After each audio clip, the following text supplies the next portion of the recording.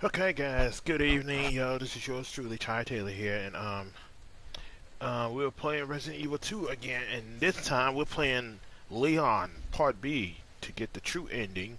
Well, to get the, like I said, Leon's my favorite character on Resident Evil 2, so the only thing I did was, you know, play Claire and, you know, start a new game, play as Claire A, and use her file, and then once I beat that, um, now I'm playing as Leon and therefore we are going to see the true ending as you previously remembered.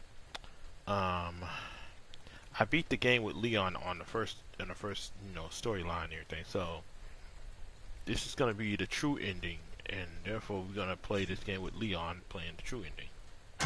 Resident Evil 2. So we go to story mode, new game, second run. And as you can see, I unlocked right her when I finished with Leon, and I unlocked and I unlocked Leon's second story. You know, um, when I beat Claire. So, I like I said, Leon's my boy and everything. Claire's alright, but you know, Leon's more you know cool, laid back style. So we are gonna play as Leon, and I'm gonna have my assistant mode.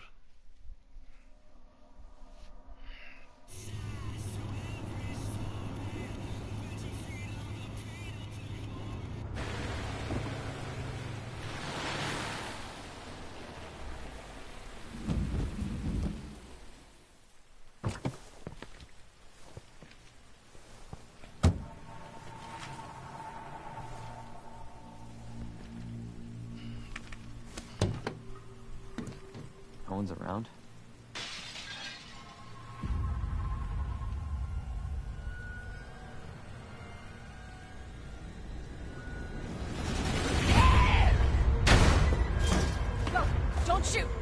Get down! Come on!